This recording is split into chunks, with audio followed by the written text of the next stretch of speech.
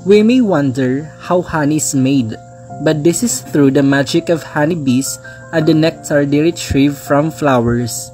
The process from bee to your pantry is a methodical one. After the bees get the nectar, it's naturally broken down into simple sugars, and the bees store it in honeycombs. Beekeepers collect the honeycomb frames, scrape off the waxy outer layer, and put them in an extractor. The extractor collects the honey, after which it gets strained to remove any remaining wax and finally bottled. Although there are dozens of different brands of honey, as long as the only ingredient listed is pure honey, you know you're getting the real deal. Now, why does not honey ever expire?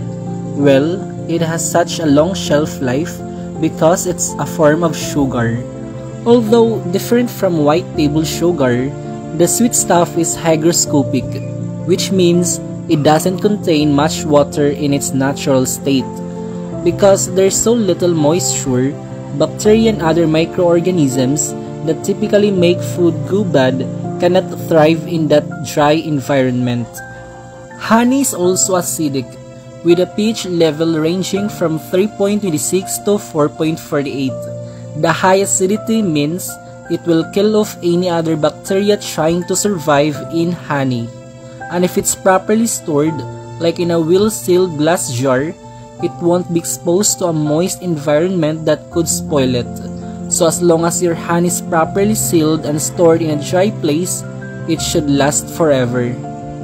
Sometimes, honey will crystallize, which some people wrongly think means it has gone bad. It's actually a sign that you have a raw, good quality honey. Honey is made of two main types of sugars, fructose and glucose.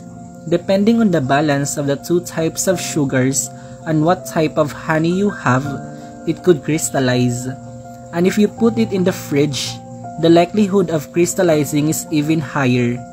To make the crystals liquid again, you can put your honey in a bowl of warm water to increase the temperature. But crystallized honey is still good to eat and doesn't mean the honey is spoiled.